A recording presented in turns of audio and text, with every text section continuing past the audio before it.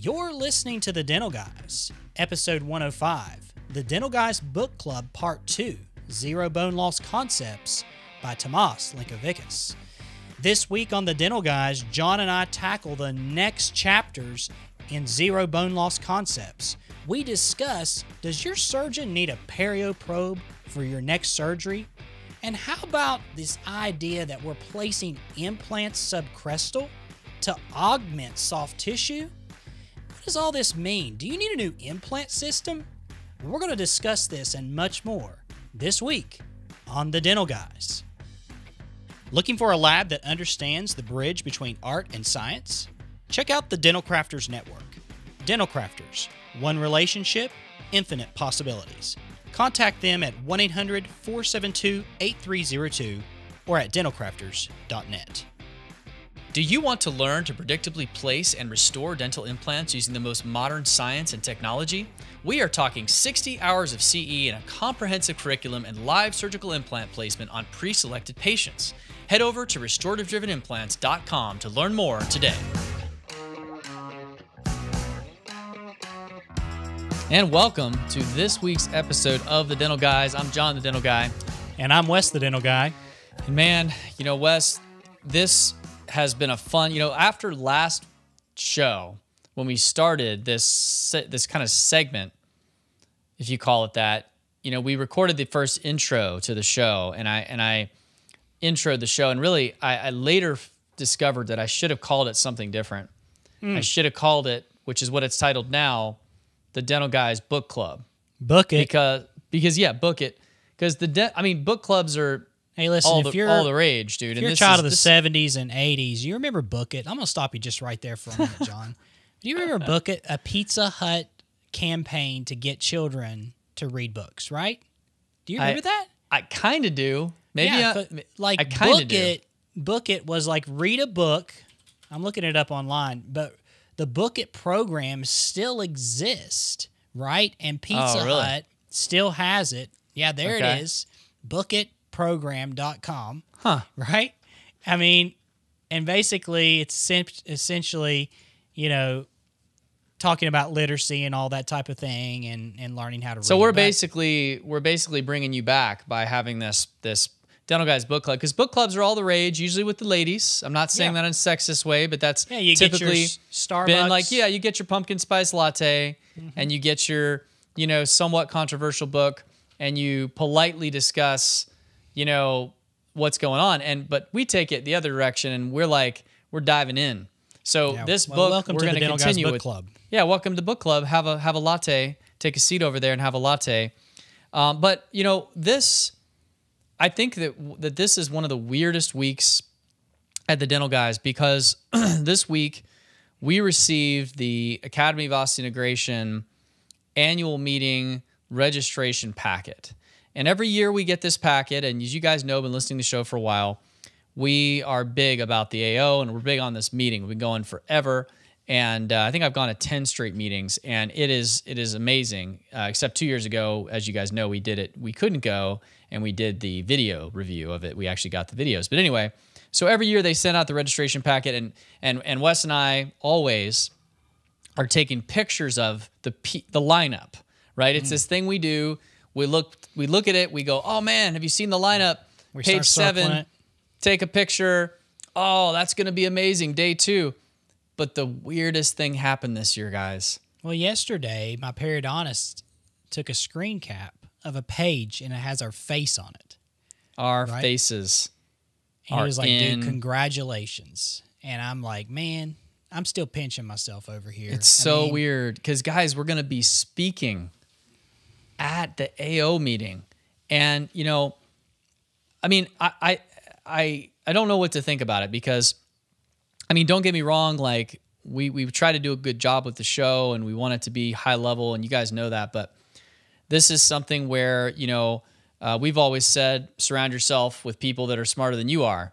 And that is certainly what this meeting has always been to us has been people that are much smarter than we are. So we're just honored to get a little piece of that but to see our picture on the registration thing was a little crazy and we're excited because we're going to be talking about it the young clinicians luncheon is where we're speaking And um, we're going to talk about some interesting things because if you've listened to the show, right. you know that we talk a lot about the influence of what we're doing as well as what others are doing in, say, the social media realm or the podcast realm. And is that good or bad for dentistry, right? Like we think it can be potentially good, but we also think it can be potentially harmful, depending on if you're evidence based or if you're just kind of spouting off whatever you think about something. And so I, I think that the AO and these organizations are trying to figure out how to plug in in a positive way to that social media side and getting their message out. But they're fighting against these these weird forces of you know people just getting up and just saying this is what I think, this is what I do, without any backing. So it's going to be a good talk, I think, Wes. Yeah, I'm excited about uh, the whole thing. I mean, and and and a matter of fact, just if you aren't going to make it to Seattle, there's going to be a lot of things that we're going to be doing online that week, March 18th through the 21st, 2020. If you can be there, come up and see us, uh, shake our hand, give us a shout out. Uh, we're we're certainly open to that kind of thing. And yeah, I'm, and if you're going to be at the meeting, you should register for the Young Clinicians Luncheon. Yeah, I mean, you, you don't have to be a young clinician to do that, but no. come check us out because we want to pack the place out, of course, and have a good turnout. And if it's fans of ours, hey, if you're going to be around Seattle, if you want to come to the AO, if you've never been to the AO, let me let me just this say it this way. This is it. This, this is, is I mean, it was there a few the years ago. 35th anniversary, right? It's the exactly. 35th year. It was there a few years ago, and I had a blast. I love Seattle. Uh, the downtown is amazing. It's all just such a great walking city, uh, great convention center. So, I mean, it's the place to be. And so come on out to the meeting and check out what, what's going on at the meeting. If you if you manage to see us there, give us a shout, but you will not be disappointed by this meeting. Super excited about it, John. Uh, next week, next week we're going to be, uh, and this will be for you guys that are listening to this now, has already passed, but next week we're heading down to a CE course down in Dallas, Texas. Yep. And what I think it's great about this course, it's, it's going to feed right into this next chap- chapter. Yeah. We're going to be going to take uh, taking a course from Pat Allen on soft tissue augmentation around teeth and dental implants, how to thicken soft tissue around teeth and dental implants. We want to kind of get the protocols. When we were out at Spear, recently, Bob Winter gets up and he starts talking about uh, some periodontal um, phasing and treatment, uh, basically yeah. how to do certain periodontal procedures and how to work with a restoring doctor and how to communicate with your periodontist and all the things that kind of go with treating recession and crown lengthening and yep. implant stuff, surgically facilitated orthodontics. And guess who Bob Winter has paired up with over the years in writing papers and research, none other than Pat Allen. We were super excited to hear that Bob was friends with him and is actually con- going to continue to work with Pat um, in Bob's practice there in uh, Southern California. Yeah. So we were pumped because that's something that we'd been wanting to do for a long time. Uh, and and possibly incorporate some of these simpler things into our practice. Yeah, at very least, we want to understand it. You know, yeah. at very least, we want to know how are some of the best in the world, like Pat Allen, doing tissue grafting? How much of it is alloderm? How much mm. of it is you know autogenous? Um, what what kind of technique is he using? And yeah. I'm really interested to hear how he looks at this around implants because yeah. you know we we all know no matter where your background is from, we we know that soft tissue grafting around teeth has been around forever, and there's been a lot of more controvert, a lot more controversy around grafting around implants or grafting in preparation for implant placement. And Wes, really, I think that's a perfect segue, right? Because yeah. what really got us thinking about this in the end wasn't because we wanted to graft recession defects. it was because this book that we're about to embark on, Dental Guys Book Club Part Two, uh, talking about uh, zero bone loss concepts. Well, Linkevicius originally was what got us thinking, hey, if we don't have enough soft tissue, that might affect the bone loss around our implants. So, well, how much soft tissue do you need? right. Well, that's what how we're going to talk about. Yeah, that's what yeah. we're going to talk about here next, right after a word from our sponsor. Hey guys, it's Justin Goodbread here with Financially Simple. In the last episode, I introduced you to the concept of a multiple used in valuation. Now, the multiple is mainly comprised of intangible assets. Now, intangible assets, as I've already introduced, are simplified into four different types of capital. Remember, you have the structural, the social, the human, and the customer capital. In order to increase the intangible assets, we must segment the business into the eight key areas of function. Now, as we discussed, the eight key areas are planning, leadership, marketing, sales, people operations, finance, and legal. Going forward throughout the season, we're going to analyze each of these eight key areas with the goal of increasing your value. I'm looking forward to helping you dominate your dental marketplace. If you have any questions about how to increase the value of your practice or how to potentially double your net worth every three to five years, reach out to us via financiallysimple.com and we'll be more than happy to help you. For more information about today's topic and other dental related topics, head over to financiallysimple.com forward slash dentist. Until next time, make it a great day. All right, and we're back uh, after that word from our sponsor. And so here we go Dental Guys Book Club Zero Bone Loss Concepts by Tomas Linkevicius. Let's jump right into this, Wes, because this next, next chapter, we left you guys off after the first three. We're getting into chapter four this time. Mm. And really, this is the chapter that he has been writing for 10 years. He's mm-hmm. been writing this chapter ever since he first published these studies that were indicating that implants with a certain amount of soft tissue thickness were losing less bone than implants that had less. So let's jump right into this chapter. Let's first just define what is the soft tissue around implants. And it's interesting, Wes, and I won't dive too deep into this, but we just had a very interesting conversation with somebody about what is around implants, right? What is the actual tissue that is up against the implant shoulder, up against the implant itself. And you know, I think we it's important that we understand that you know not everybody knows this, and that's okay. So if you don't know, you might be thinking, okay, what's around a tooth? We got a PDL, a periodontal ligament. Well, implants don't have a periodontal ligament because we don't have cementum that we can attach to. So what do we have? Well, we have bone, obviously, up to a certain point, and then we have junctional epithelium.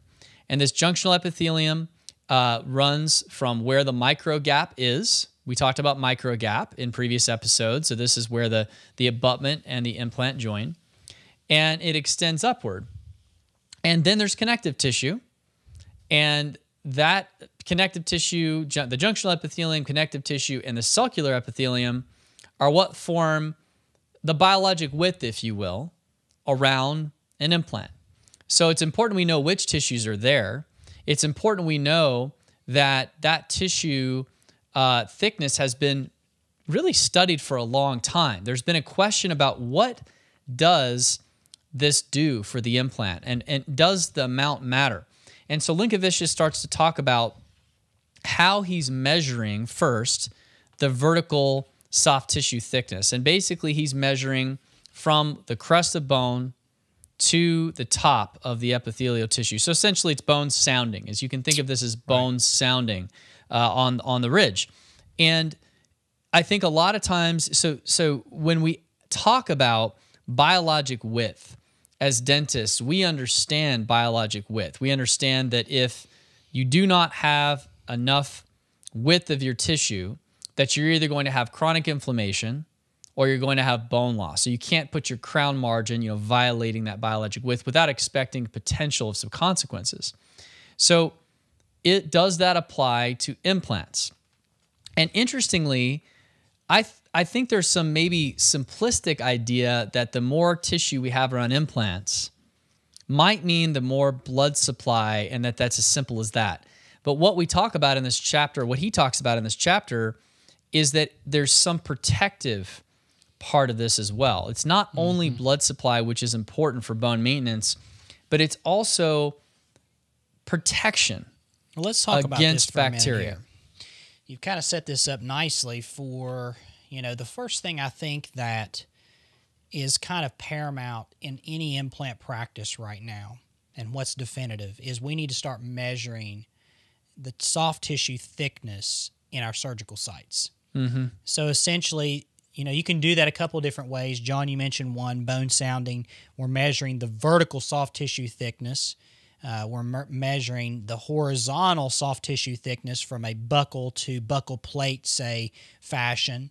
And then also p- taking note of the attached gingiva. Where is the attached and free gingiva uh, going to be ending up? Like, where is that demarcation and, and what is truly attached? And how does that work with, you know, so many times I think a surgeon, they don't even think restoratively.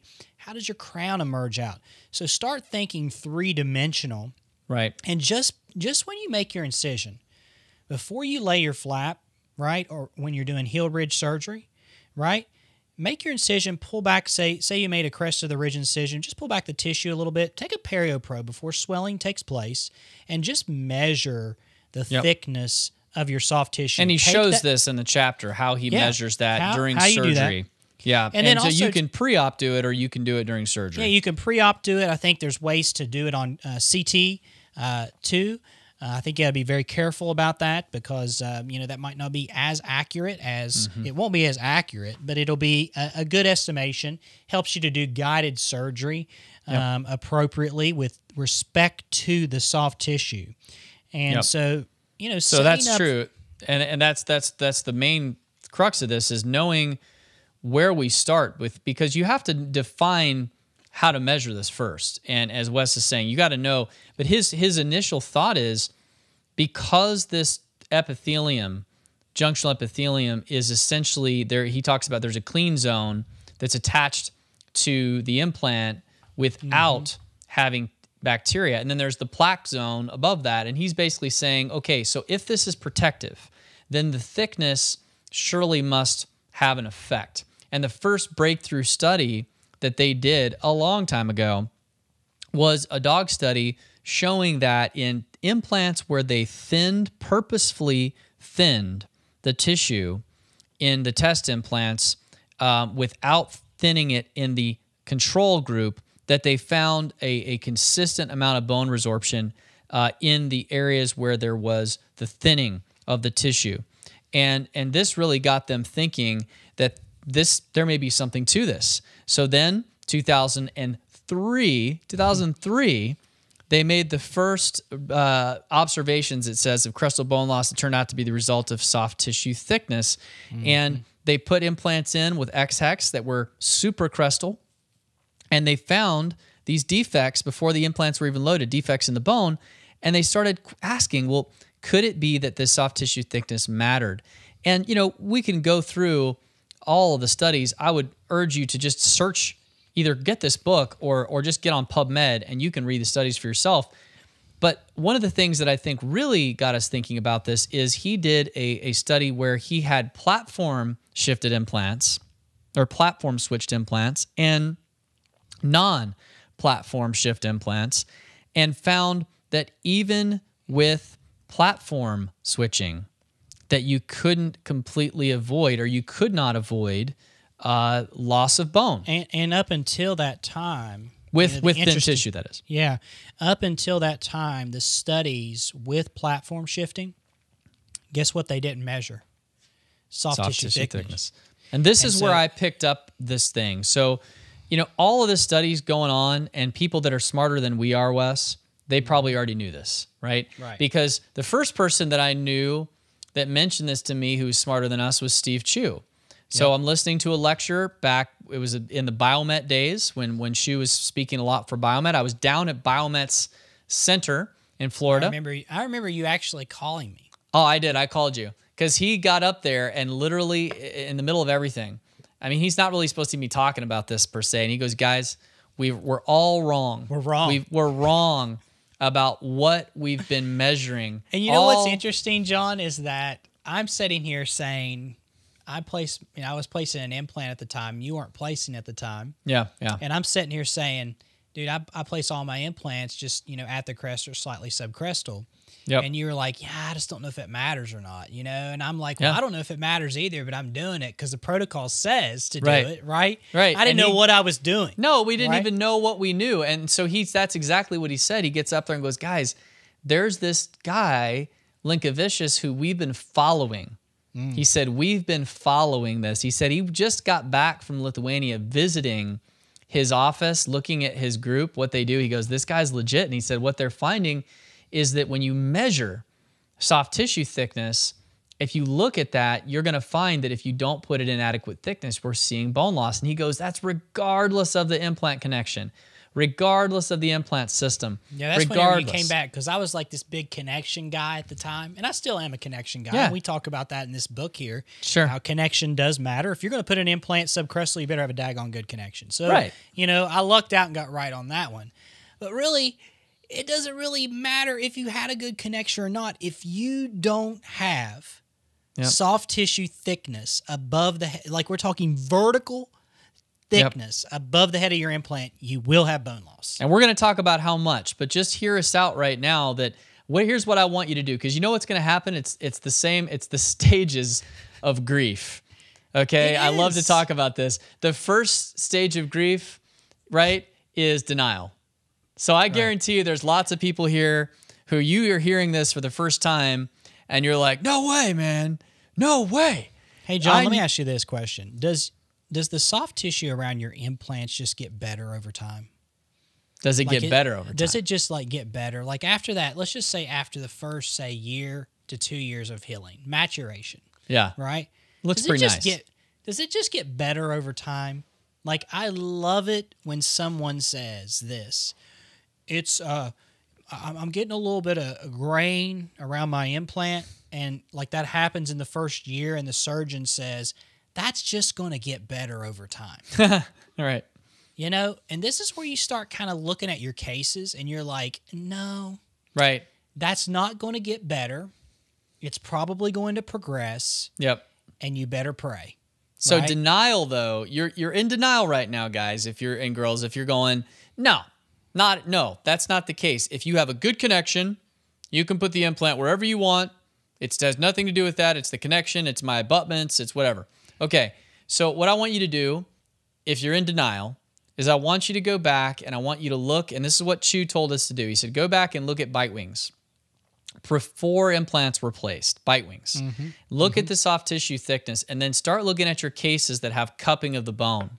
And he's like, mm-hmm. I'm telling you, it messed with us, me and Dennis Tarnow, he says, because we were like, oh my goodness, we're seeing it. We're, we didn't realize it. It's usually posterior mandible is the easiest place to see it because you can get good bite wings back there and the tissue's often thin. And he said, so we're having to totally rethink. And then he made the statement at the Biomet Center. He said, it doesn't matter what implant you have if you don't have adequate thickness. And as Wes said, what that started to get us thinking is if you had an implant that was protocol designed to be placed subcrestal, okay, every time, then what you're doing is every time by kind of countersinking that implant, you are increasing your soft tissue thickness by placing your implant deeper, and therefore you're going to see less bone loss. Was it ever the subcrestal placement that did it, Wes? No. It was not the subcrestal placement, it was partially the soft tissue thickness and partially the connection, but partially the and maybe majorly the soft tissue thickness. And so then you start looking back at your cases and you start mm-hmm. seeing it.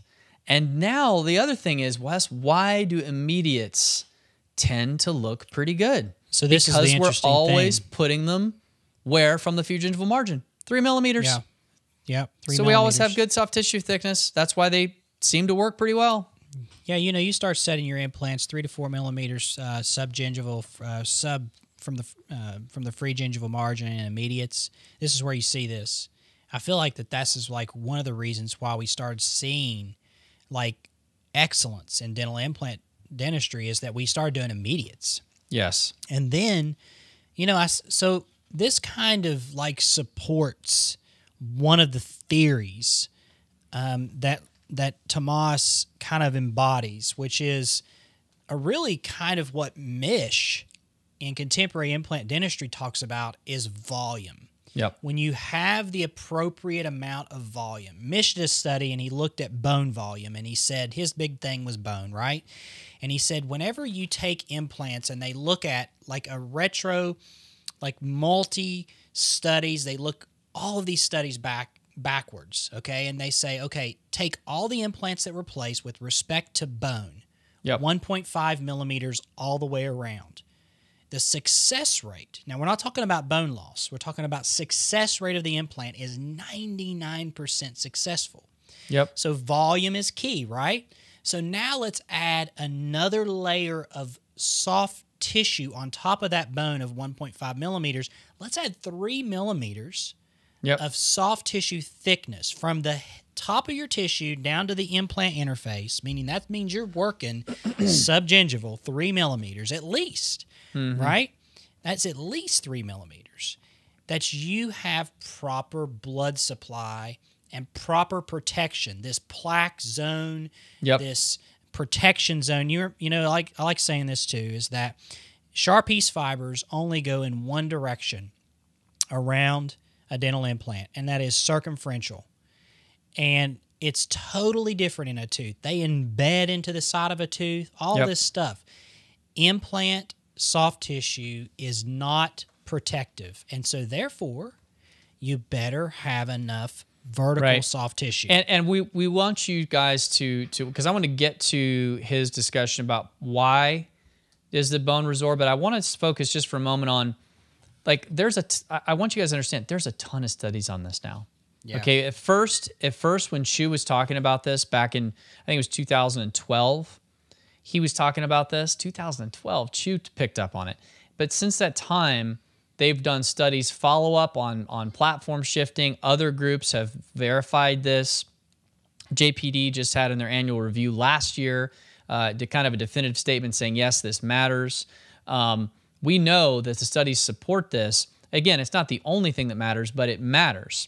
So I don't want to go through that, but I do want to say let's define the thickness. So the thickness he mm-hmm. measured that he questioned first. He said, okay, thick was three millimeters and greater. Mm-hmm. And then he did some studies even to look at what about 2.5? yeah, what about thresholds? what are the thresholds? And so the bottom line is three millimeters, even down to 2.5, you don't see as good of a result. And so three millimeters really is the level that he recommends as the as where you need to shoot for. Hey, if so you the- ever come to RDI, yeah, you know, whenever we're teaching the Series 1 Day 1 course, yep, you will see a decision tree, right? And that decision tree follows the research that's in this book. Exactly. And and and Tomas because we think that you have to look at this and it's another reason why does it now make sense folks why we're going to take pat allen's course? Because if you have insufficient soft tissue and you have anatomy say your inferior, inferior alveolar nerve is such a position that you can't put a shorter implant in right? It's uh, you know you, you've already gone as short as you feel like you can but your tissue's thin you may want to augment your tissue Yeah, so that you can not so you're not going to lose bone if you have thin tissue. So his his the next question here is why might it be that this is happening, right? Is it uh, blood supply? What is it?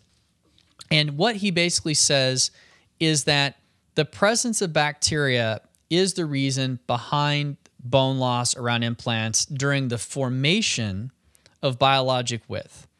So it's suggested, as he says, that bacteria and plaque must be a certain distance from the bone level. If this distance is less than required, the bone resorbs to create sufficient distance for protection.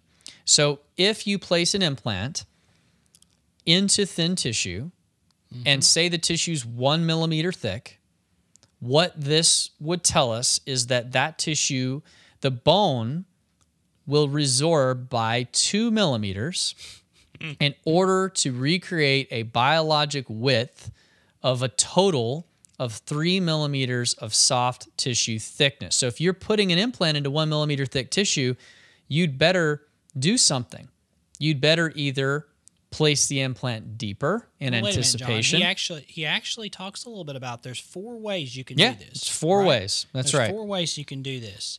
And I think it's great that he lines these four ways out because it's exactly what you know I would recommend for the Yep. for the for the listen for the person that's doing ninety percent of all the implants you're going to do in your practice. Mm-hmm. This right here could change your patient's teeth and implants Yep. for their lifetime. It's a big Right. deal. It's a big deal. So there's four things. There's four things he mentions. One first thing he says is he said, first thing you can do to increase the soft tissue thickness in a healed ridge approach is flatten the alveolar ridge before the implant's placed. So basically, most of the time, whenever you lay a flap, you have this peak of bone. I was looking at with a patient today on their CT, and I was saying, you know, I'm going to take that bone and I'm going to level that out. And that guy, the, the guy was a farmer, and he was like, "Well, that only makes sense. You kind of make a flat place to work on."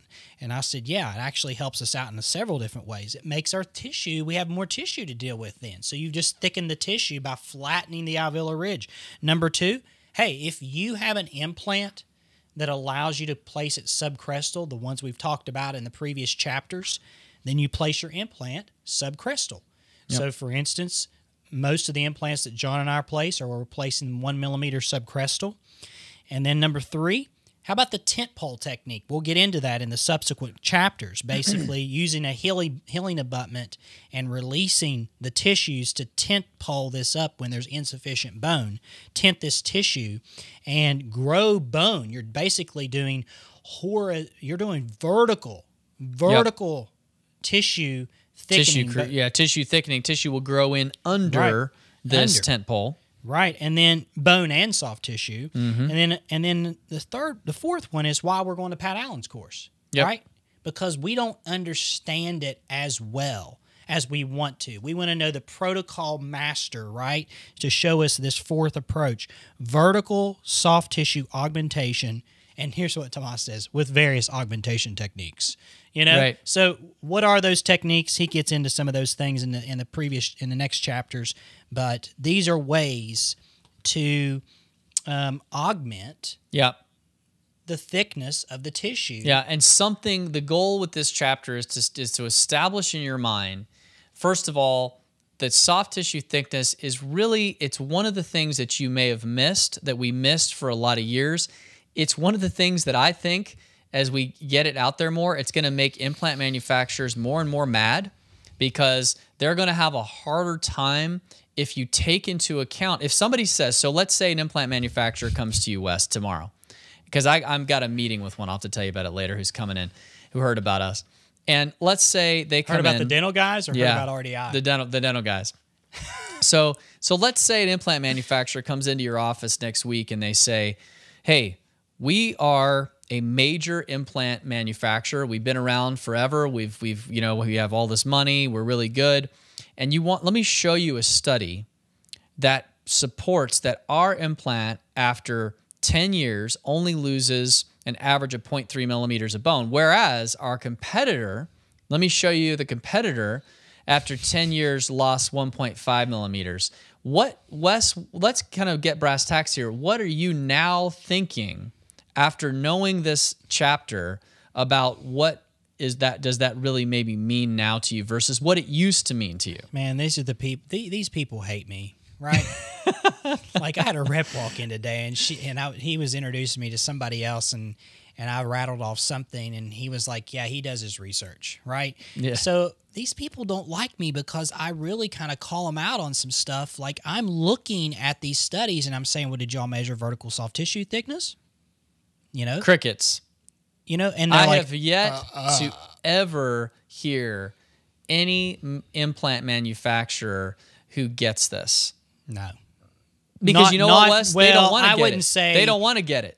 There are people that get it, People. that speak from them, Yeah, yeah, right? yeah. But actual reps Right. or actual like higher up people, Yeah, yeah, yeah. they They're don't not- get it. No, because they don't want to. Because if They, they, want get to it, sell implants, right? right? They're gonna because if So- they get it, they're gonna have to say it's not so much about their connection or their whatever. even systems that we embody, right? The engineers Mm-hmm. truly sometimes Yeah. Well, I would say not not sometimes. No manufacturer I've ever talked to, John. No Yep. manufacturer. This gets me heated because every time I do, I just like, well, you guys, it's just so frustrating because just like you're beating a dead horse to, to death. Even more, I just can't get past it because they can't fathom mechanics and biology. They can't put it together. They got the mechanical side Right. down, and they want that to be so important, Wes. They, Well, they really want that to want- be paramount. Yeah, right? because because it's something proprietary and it's something they created. It's man made. We really wish that it could be like what we made that determines this stuff more. That we could control biology. But what Linkevicius has kind of taught us is that all we can do is anticipate what biology will do better and know that that determines what our man-made technology is capable of but if someone talks to you about this encourage them to go back and ask their higher ups hey why aren't you guys looking at soft tissue thickness because i will only really understand a study because i guarantee you when i see Ankylos data wes Yeah. when we see for instance Ankylos right if you look at the protocol they recommend two millimeter subcrestal placement so why do you think Ankylos always has great numbers on bone loss?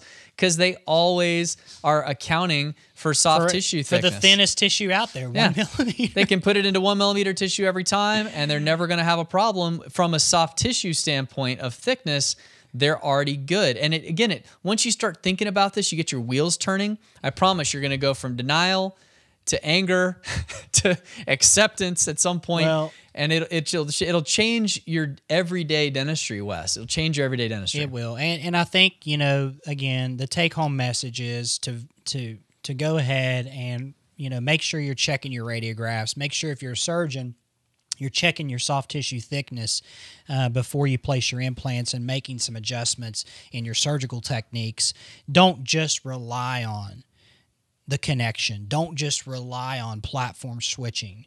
Uh, Right. that's what Tomas is saying here. We need to have a certain, I think it's proven, we need to have a certain thickness Right. of tissue.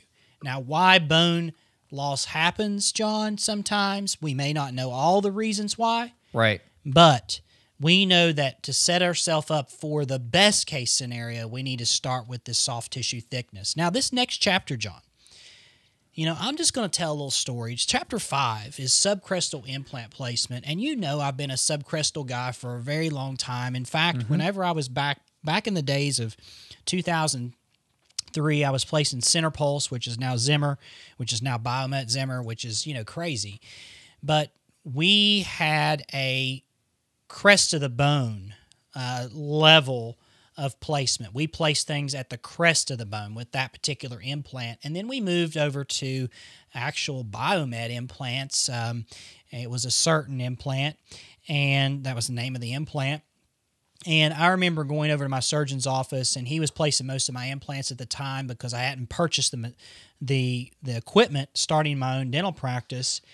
and I was always one. I placed that a little deeper, place that a little deeper. Now, why I did that was I just had this thought that if we're doing surgery, that we're going to automatically have some bone loss because of the surgery. Right. So my implants. So basically, you lay a flap, and you know air touches this golden hour, and you're just going to have you know bony necrosis. Well, Jeff, you know uh, Frank Spears. Um, Periodontist did studies on that, right? Where you lay a flap and you measure the amount of bone loss that happens every time you lay a flap. So Yep. one of the things we did as residents, we said, you're going to get some bone loss whenever you do surgery, so we place our implants deeper, right? That was just Yep. our protocol. And that's what a lot of people were doing at the time. So then I picked up and I started going in and I purchased into a subcrestally placed dental implant design, right? It's just part of the protocol, all right? So when I started speaking for this company, right, about because their soft tissue and their bone loss had been shown in a track record to be like less than a half a millimeter at 10 years. Yep. And that's what I thought, man, this is the great stuff. I don't want to see any more bone level bone loss. And so I started talking about this, you know, in these small little study clubs about Yep. placing implants subcrestal and look at my tissue. Look Right. at how good it looks, right? And and you know what I got, John? I don't know if I want to deal with going subgingival with my connection because it hurts the patient. Because whenever I Because it's harder to restore. because it's harder to restore. And whenever I uncover, John, I don't want to have to bone profile. Do you know how many times I've heard that? Yeah. when I place my dental implants. Well, here's what's here's what uh, Tomas says. He says, if tissues are thin, many clinicians simply uh, clinicians suggest simply placing the implant more deeply in bone. This method will accommodate the lack of soft tissue thickness and resolve the problem easily and quickly. So is is that the solution? Uh, some implant manufacturers, as John mentioned, like Ankylos, recommend you place them two to three millimeters subcrestal. Now we know that Tomas says if you do that, you better have a deep conus connection between two Right. and five degrees. Morse taper. Right? Morse taper. You have to have that. And um, I I think it's interesting to watch bone remodeling. And Tomas talks about that, and he kind of defines um, remodeling in, in this book. And we won't go into what bone remodeling he's talking about. But one of the things that you can do in your surgeries is start one first you need to pick an implant that you can place subcrestal. And let me, let me before before you go any further.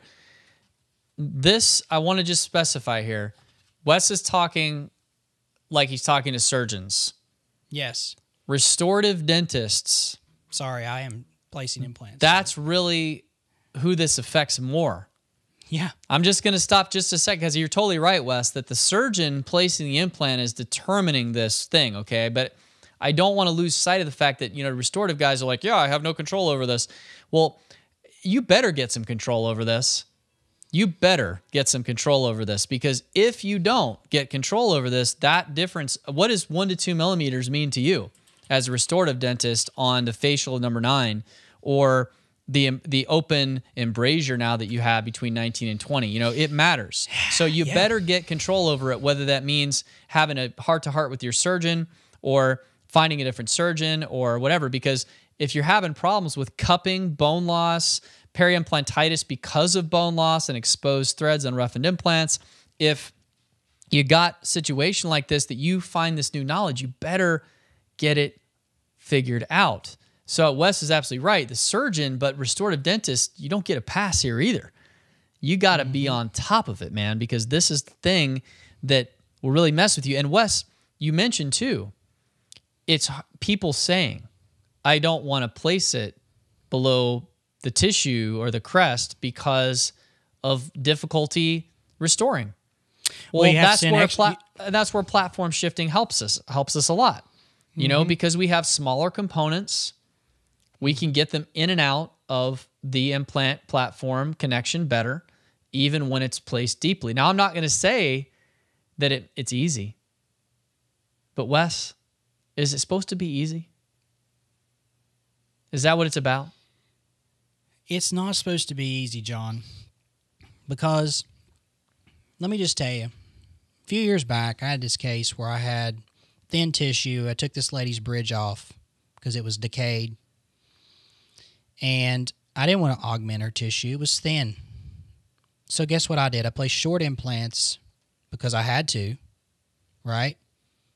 And I buried the implants subcrestally two to three millimeters.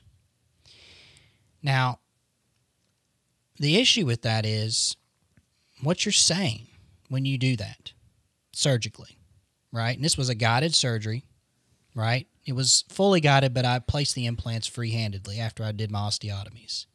And I can remember this. It was on a Tuesday evening. And here we are at six o'clock in the evening. I'm going to uncover what simply would take an hour, Mm-hmm. now turned into a two-hour procedure. Uncovering. Just for uncovering. just for uncovering. How much money do you make for uncovering implants, John? Zero dollars. Zero dollars. So why do I want to deal with this? Right? Hmm. Because it's not what you see today and even at a year. What have we said the entire Dental Guys podcast, John, for the last four seasons of our show? Anytime we talk about this kind of thing, we don't talk about what we see at a year with implants. Mm-hmm. We talk about what we see at five and 10. Yep. I'm really concerned if you're surgeon or if you're the surgeon and you're not paying attention to some of these things. Yep. because I don't want to clean up your mess. Yep. We're aware that it makes it harder. But what I guess Right. we're saying is, you know what, guys? Deal with it. You know, it's harder. Yes, it is harder, but what do you want in your mouth? If you know it's true that there's less bone loss if you account for soft tissue thickness, and that means we're going to have to drive our consider driving our implants deeper when we have insufficient tissue. If it's not a case you want to augment or using one of these other techniques, guess what, So- guys? It's going to get harder. So we just have to deal with that. And there's ways to deal with it. Mm-hmm. What one way is platform switching the implant, making sure that you have components that are smaller. But there's going to be times, like Wes said, where you're going to uncover and it's just going to be a bad day. Yep. So keep your Preface whole- guide, have an idea of where your implant, all the little things, right? All So this things. means, John, let me just ask let me just ask you this question for just your general clinician out there that's placing singles. Mm-hmm. Right? You're placing singles, you're not doing full arch. Let's not talk about that. Let's talk about single unit implants. You're going to be replacing 19 and 30 most commonly, right? Like I'm getting ready to place 28 on this one guy because I'm going to give him 10 teeth, right? yeah, yeah. I'm going to give him 10 teeth to chew on. So I'm placing 28. So if you go into the surgery, let's say you had a magic crystal ball and you said, you know, I know 100% that I have three millimeters of soft tissue above this surgical site. Okay. Okay. Well, then do you need to place your implant subcrestally? You do not. You do not. So that means, John, that I could choose an implant that doesn't have a deep conical connection. It could be a conical connection that is like 15 degrees or more. Yeah, like a nice, you could pick any connection just Yeah, about. like uh, one would be like, just use one for an example, like a um, uh, horizon, Yeah, right? by Horizons. Yeah. by Horizon. Okay, if you had a crystal ball. If you don't have a crystal ball, like if you're, if can, let me ask you this question. Can you for sure tell me how thick the soft tissue is before you do the surgery? Not for sure. I'm pretty. I can be pretty good if I sound the bone, but I can't Right. be 100. percent but you got to numb the patient up to sound the bone. So I Right. would I'm just usually ask- not I'm just gonna make an assumption. Most patients, most dentists are not sounding bone before their surgery. Right. Because if they did do that, John, then they could say, okay, I'm going to go to my implant stock room. If it measures three millimeters, and I'm going to choose a deeper, I'm going to choose a more shallow connection, like a 15 degree or greater. Right. But then they go and they say, you know, I sound the bone the other day, doc, and uh, this is the associate talking to the senior doc, and it measured two millimeters, which is what most tissue measures, by the way. Yep. Okay.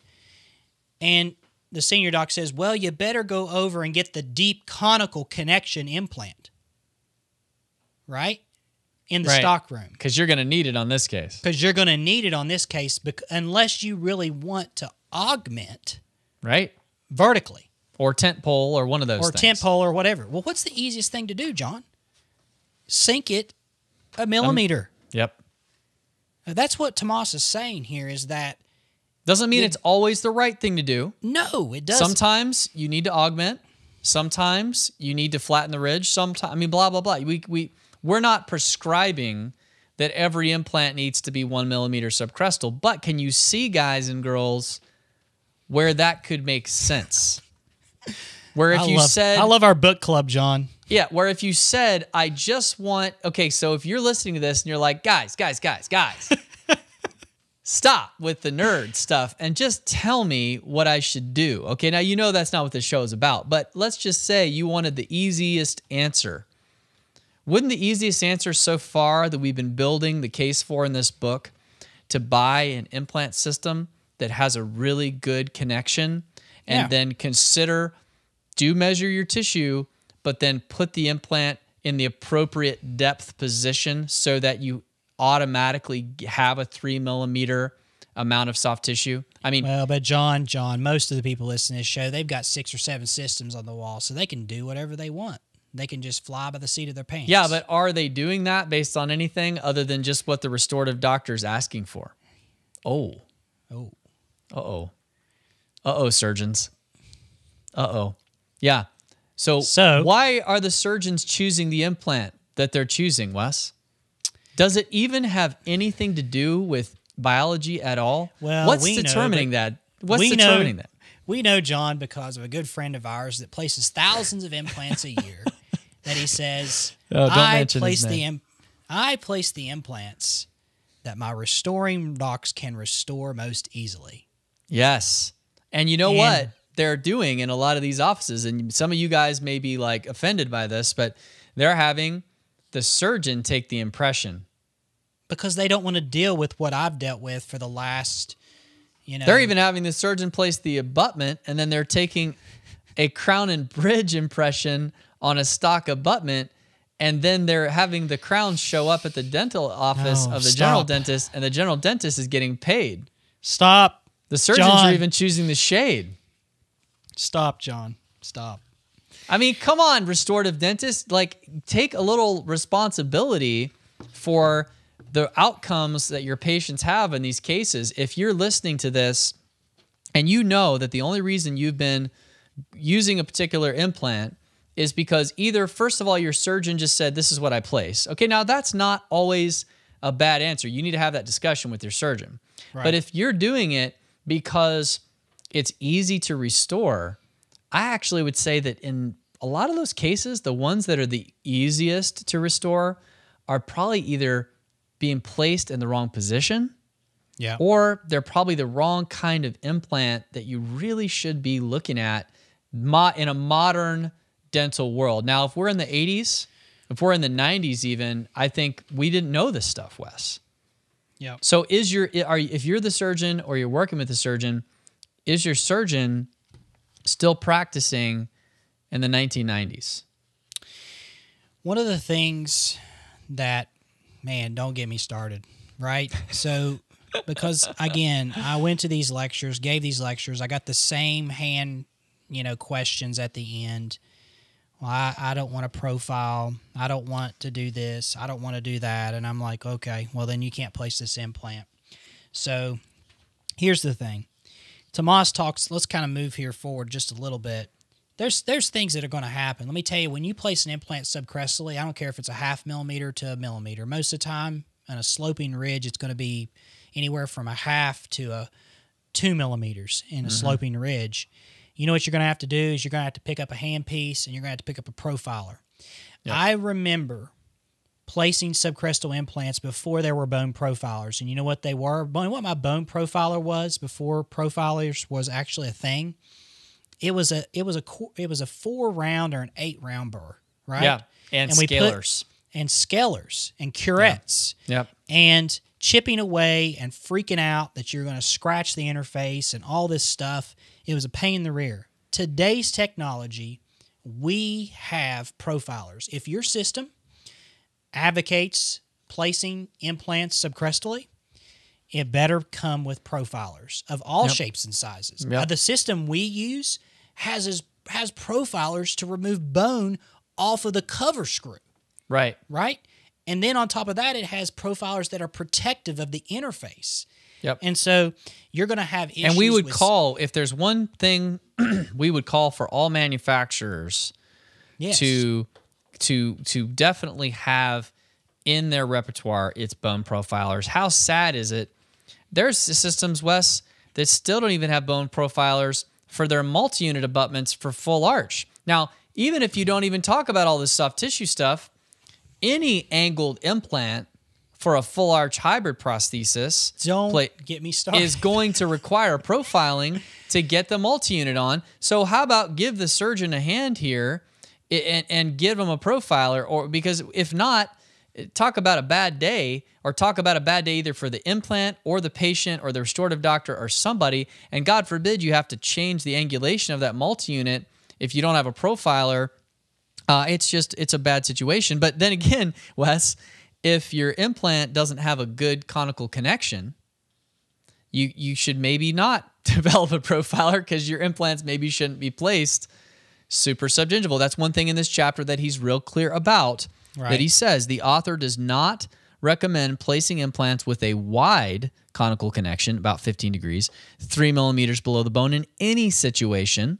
Two millimeters or less should be sufficient only if the clinical situation is appropriate. However, implants with a Morse taper connection can be placed as deep as three millimeters. And I'm going to just tell you guys, it's coming up when we get to the end of this. If you haven't, if you want to get a little head start, uh, the Academy News from AO Yeah. just had a great point counterpoint with Linkevicius and another gentleman talking about that exact statement here of are we increasing the risk of of a difficult periimplantitis battle by placing these implants that deep? And the question is, which is the bigger issue? So we'll Well- get back to that later on, but be yeah, thinking about that. Man, be thinking about that one because that's oh, That's big. It's big. That's a big deal. Listen, the point of the the point of the thing here is that one, you need to understand the type of implant you're placing, right? And as a general dentist, if you're a placer or a prosthodontist or even a periodontist where you maybe don't have a huge referral network, right? If you're just doing the bread and butter, choose an in choose a system one that has all kinds of different sizes and lengths of dental implants number two choose a system that you can place subcrestally to to basically augment your soft tissue automatically right? Mm-hmm. Choose a choose a system that has tools like bone profilers and healing abutments that have this more anatomical emergence profile that's under contoured like an hourglass. Yep. choose a system and also that- too i will mention and he talks about this wes and we we won't spend a ton of time on it but he talks about how one approach to this for you folks that don't like working way below the tissue. Nobody does. I mean i don't like it. I don't want to do it. If we don't yeah we don't- but another option is using an intermediary abutment, using a transmucosal type of abutment. And there Yeah. are some companies that are coming out with this. In fact, if you were with us talking about uh, at the AO last year, Nobel has just released an implant that has essentially an always on one abutment, if you will, one time uh, abutment that's placed as an intermediary abutment so that you now elevate the components not only inward, you don't just move them inward with platform shifting, but you move them upward, kind of like what you would do with a multi unit abutment for hybrid, fixed hybrid type of yeah, restoration. like a bone channel you're coming up out of the bone yep. with an abutment you place this abutment at the time of surgery Yep. on these deep conical connection implants so we know that one abutment one time type situation here Right.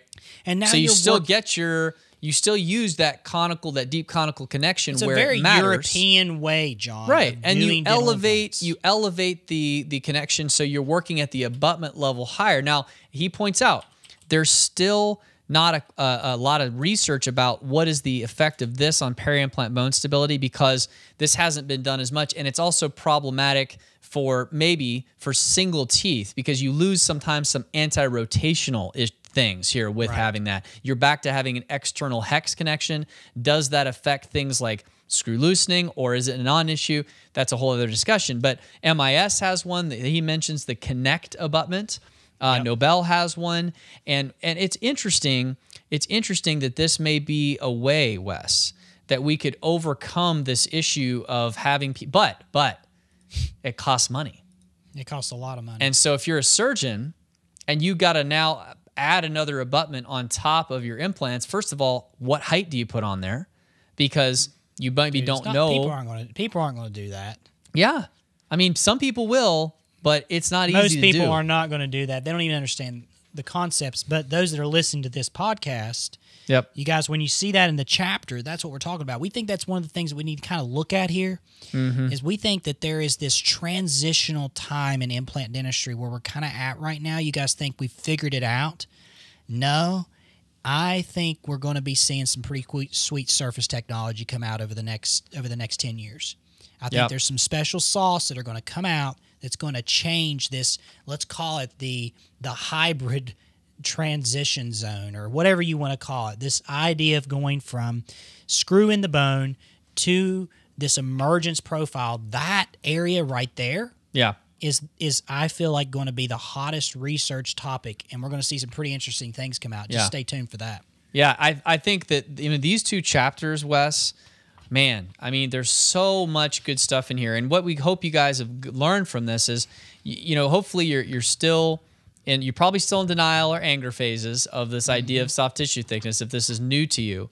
But we want you to really digest this. Go back and read this chapter a couple of times to digest it fully.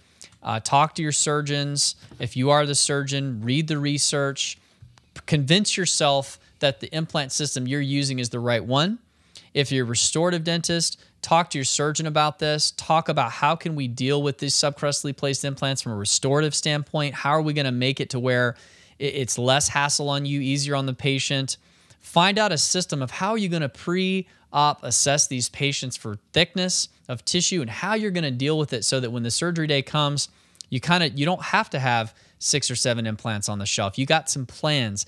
This is this is one of those books that literally changes your practice. If you are not feeling that already, you haven't been listening. So we so want you me, if you if you're yeah. Go ahead, Wes. Let me go just ahead. say this. It, you're going to run into some barriers here. I, I'm just going to say this. You're going to you're going to buck the system. If you go to your surgeon and they're placing like a Nobel Active or a BioHorizon and they're like, ah, I just don't think that matters. Well, it kind of does mm-hmm. if you're just, if you treat every implant like a nail in a piece of wood, we got a problem. Yep. Right? We got a problem. And I know some of you guys are probably saying, my surgeon's not going to listen to a word of this. And some of you may not even have options, right, for what you can do. But the, the thing is, is that you have to start challenging. Yep. Because if you're young, if you're in your if you're young part of your career and you're not into your 50s and 60s, right? You're going to be treating some real problems if you don't pay attention to this. Exactly. John, I sent you an X-ray today of something that was really profound. It'll make you sick. Yep. When it comes to dental implant Failures. therapy, and it was my case. Yep. Right, my case, and it's and it's like, are you prepared for this? And we are not. We so if not. you like what you're hearing um, on this show, if this is changing the way you are thinking about implants in your dental practice, um, we want to hear from you. We want to know about it. We want to know what you're changing. We want to know what this, how this is messing with you. We want to know if you're angry, if you're in denial, if you completely disagree, if you think we should use external hex implants in every case. We yeah, want to hear from you. Polished collar. Yeah, if you think we should stick implants four millimeters out of the tissue, we want to hear from you. But we think that this is something that makes a difference, and that's why we put this stuff out. So if you like what we're doing, please give us a review. Please give us a five star review hey, on and Apple head over Podcasts. to Quintessence or Amazon and buy the book. Yeah, buy the right? book and and and get you know tell Tomas Linkevicius that we're if you know him. We're, we're reviewing. We haven't we haven't ever had him on the show. We'd love to have him on the show one day. Um, we certainly after doing all this, we got to get the guy on the show. Yeah. But let him know we're doing this, and please tell your friends about the show. That is the way that this show spreads, besides podcast reviews and Apple Podcasts, besides your Facebook, Twitter, Instagram posts. It's also by word of mouth. Tell your friends, hey, this is making a difference. You need to listen to this. That's how we grow. We're going to continue to bring you this content just the way we always have at the highest level we can. We appreciate every single one of you for listening. We put a lot of work into this, but it's really you guys who, who continue to inspire us to be better and do better. And we're going to continue to keep pushing the envelope. So for Wes, I'm John, and this has been an episode of the Dental Guys Book Club